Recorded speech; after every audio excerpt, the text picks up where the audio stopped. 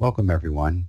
My name is Don Bitto, and I am a nuclear radiologist and nuclear medicine section chief at VRAD. Today I will be presenting a VQ case review series. This is a follow-up to my previous session titled VQ, Simplified Criteria for the On-Call Radiologist, which outlined a simplified set of evaluation criteria that I will be using to assess the cases in today's session. If you haven't reviewed my previous session, I suggest you do so before watching this session. This presentation is accredited for AMA Category 1 CME. I have no disclosures. My goals for this talk are to demonstrate the application of the simplified criteria that I presented in the previous session titled VQ, Simplified Criteria for the On-Call Radiologist. Again, if you haven't had a chance to view that presentation, I recommend it before tackling the cases presented in this session. I will present a few bread and butter cases, with some demonstrating common artifacts, before progressing on to a few more challenging and interesting cases. I will show the relevant images for each case and pause a few seconds to allow you all to formulate your own impression prior to providing a summary of the findings and my interpretation. Feel free to pause the video if you need more time to view the images. With that said, let's get started with the first case. Here we have DTPA ventilation images marked with a V and perfusion images marked with a P in multiple projections side by side. There is no comparison chest radiograph. Take some time to review the images. There is homogeneous distribution of radiotracer in both the ventilation and perfusion images.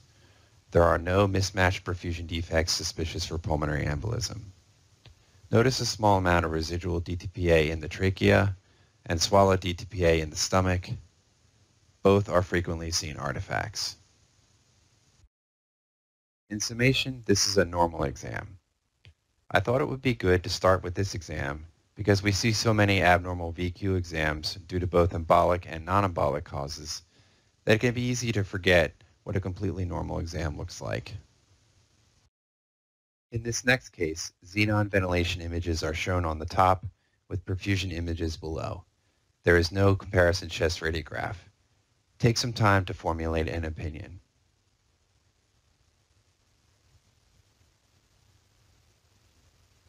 The ventilation images demonstrate a slightly heterogeneous pattern with air trapping in the lower lobes, likely related to underlying COPD.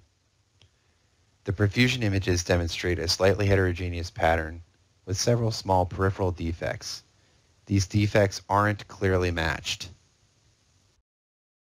The constellation of findings are neither characteristic of PE present or PE absent, classifying this study as indeterminate. For those interested, these findings can also classify as low probability. In cases like this, where the findings are likely due to underlying COPD, I typically add a comment to my impression stating that I think the findings are more characteristic of non-thromboembolic causes.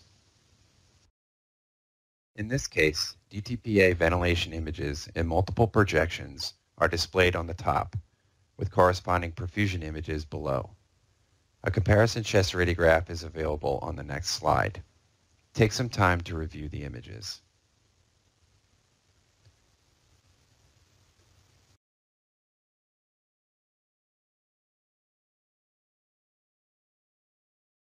There are no significant ventilation defects. There are numerous moderate to large mismatched perfusion defects involving both lungs, with the largest defect involving the left upper lobe. The chest radiograph is normal. The constellation of findings classify this study as PE present. In this case, xenon ventilation images are displayed at the top with perfusion images below. There is no comparison chest radiograph. Take some time to formulate an opinion. There are no significant ventilation defects on this somewhat limited ventilation exam. There are multiple foci of abnormal increased uptake scattered throughout the lungs on the perfusion exam. These are consistent with artifacts secondary to MAA clumping. No significant mismatch perfusion defects are identified. Despite the presence of clumping artifact, The constellation of imaging findings classify this exam as no PE. This case will be presented on three slides. The first two demonstrate DTPA ventilation and perfusion images in multiple projections side by side.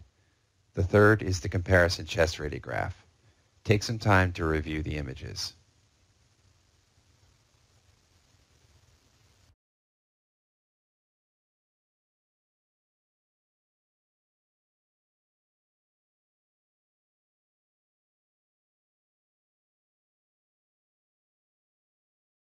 The most significant finding in this exam is a single matched ventilation and perfusion defect in the right middle lobe. The comparison chest radiograph is normal.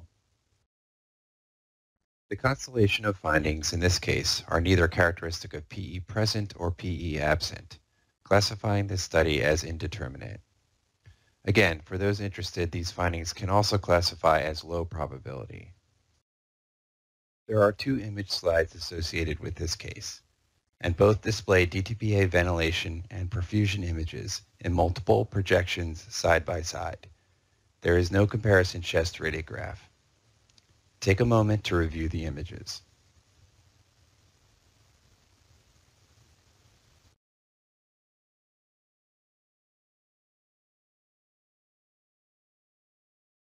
The images demonstrate a somewhat difficult to see single large mismatched perfusion defect involving the left upper lobe that is best seen on the LPO projection.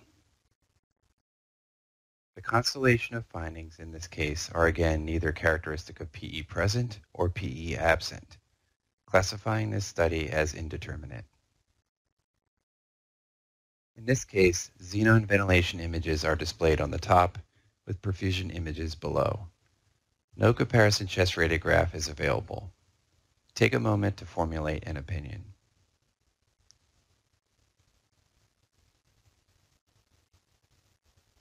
We see multiple large mismatched perfusion defects, predominantly involving the right lung. There is also matched diffuse decreased ventilation perfusion of the mid and lower left lung. The constellation of findings classify this study as PE present. Of note, the relatively matched diffuse decreased ventilation perfusion of the mid and lower left lung could be due to a large pleural effusion. It is likely not embolic in etiology given its non-segmental appearance. In this next case, we have DTPA ventilation and perfusion images displayed in multiple projections side by side. There is a comparison chest radiograph on the next slide. Take a moment to review the images.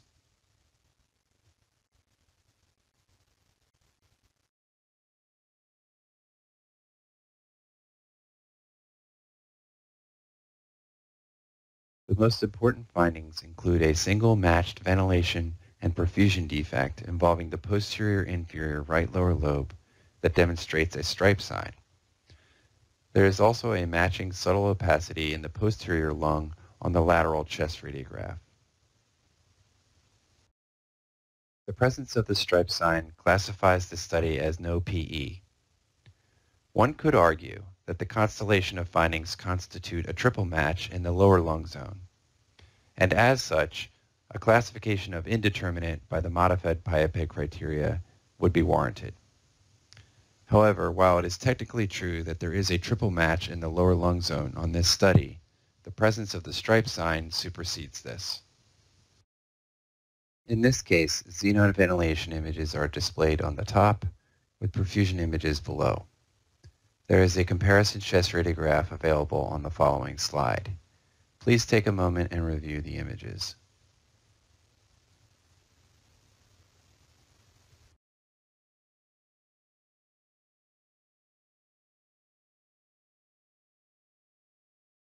There is mild heterogeneous decreased ventilation of the bilateral lung apices. There are also multiple large mismatched perfusion defects, primarily involving the upper lobes, with small mismatched perfusion defects elsewhere within the lungs. The chest radiograph demonstrates marked fibrotic changes within the upper lobes bilaterally. Of note, The radiotracer seen along the left lateral margin of the ventilation images is consistent with external radiotracer within the tubing supplying the mask used to administer the xenon gas.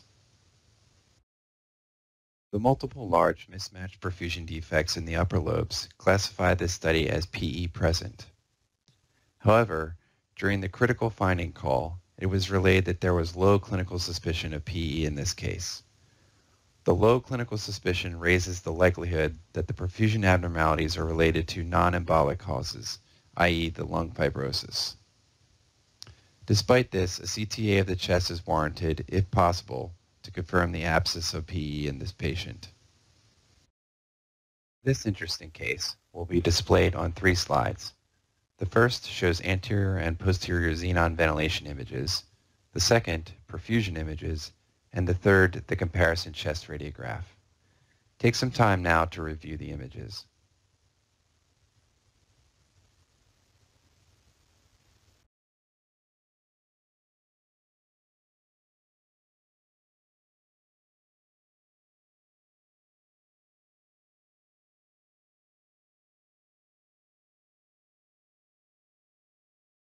No significant ventilation defects are present.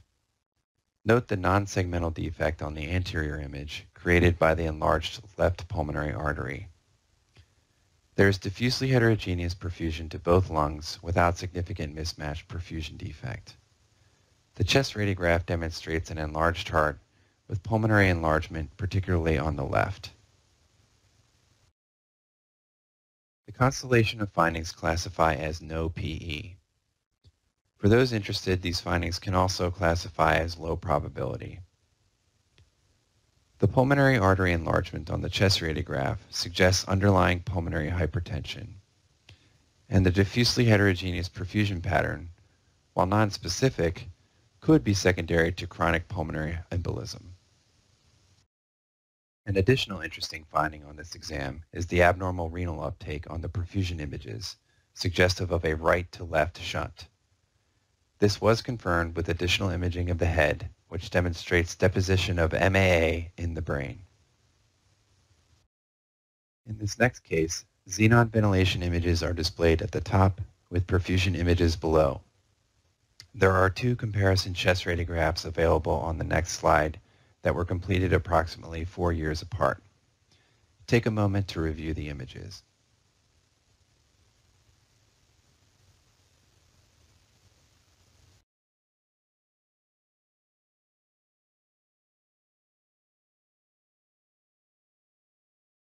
Ventilation images reveal marked decreased ventilation of the left lung with some residual ventilation of the left upper lobe. No significant ventilation defects are seen on the right. Perfusion images demonstrate a diffusely heterogeneous perfusion pattern with marked decreased perfusion to the left lower lobe, similar to the ventilation images.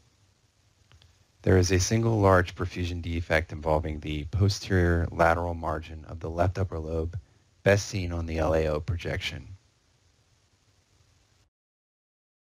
The most recent chest radiograph on the left demonstrates a mass-like soft tissue density in the left perihilar region that is not seen on the prior exam from 2005. There is also increased retrocardiac density likely related to obstructive atelectasis or pneumonia. The constellation of findings are neither characteristic of PE present or PE absent, classifying this study as indeterminate. The marked decreased ventilation perfusion of the left lower lobe is likely related to post-obstructive atelectasis or pneumonia, while the large defect in the left upper lobe may represent PE or additional post-obstructive atelectasis or pneumonia. In this last case, xenon ventilation images are displayed at the top with perfusion images below. A comparison chest radiograph is displayed on the next slide. Take a moment to formulate an impression.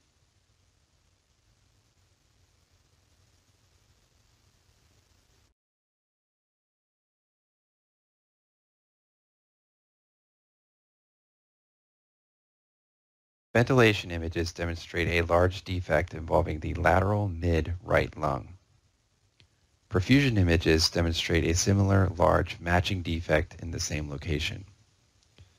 The chest radiograph shows a matching large consolidative opacity in the right upper lobe, likely representing pneumonia. The constellation of findings constitute a triple match in the upper or mid-lung zone and classify the study as no PE. Here are a few of the references utilized in the creation of this presentation. This concludes today's presentation. I hope you found it informative and useful.